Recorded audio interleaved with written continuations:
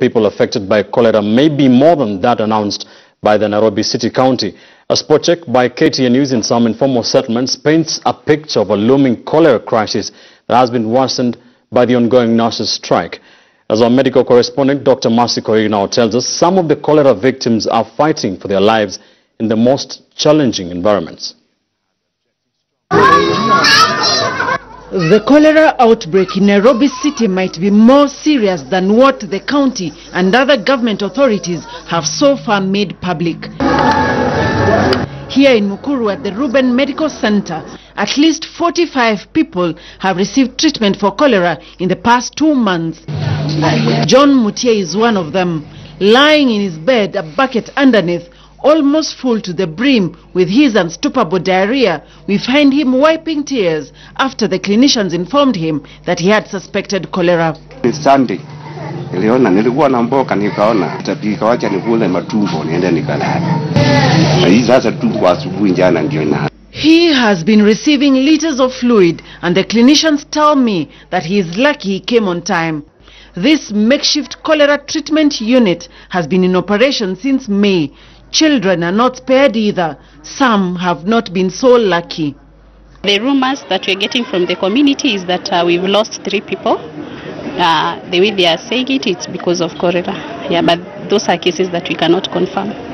Last week on Wednesday, we received uh, five cases, and uh, on Thursday again, we also received four cases. That by the end of the day, we, we, we, didn't have an alternative because we didn't have uh, staff to work throughout the night, so we had to refer the patients to Kenyatta National Hospital.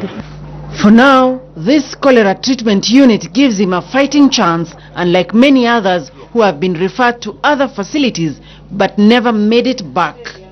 Saturday tulipoteza watu wawili juu ya cholera. Huyo mmoja ako karibu kabisa na kwangu. Tuliwe, watu waliweza kumpeleka Bagadhi wakapata imefungwa, wakapeleka Kenyatta. Wakati alikuwa anasaidiwa akaaga dunia. This medical center will now be open for 24 hours to cater for anyone who needs cholera treatment. The Kenyatta National Hospital is said to have its isolation ward overflowing and at least 70 people are being managed for cholera within the facility. The bigger private hospitals in the city are almost overwhelmed by the sheer number of patients seeking treatment needing admission. The official figures given by the Nairobi City County government are way lower than what sources in these facilities have mentioned. In the last two months, for example, the top three private hospitals in the city are said to have seen more than 120 patients with cholera. The numbers could be more. The response to an outbreak is sort of multifaceted.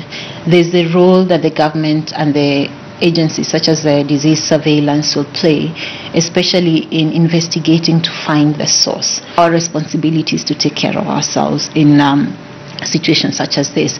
And some of the things we're talking about here is, you know, personal hygiene. Wash hands with soap and water. Make sure your food is properly prepared.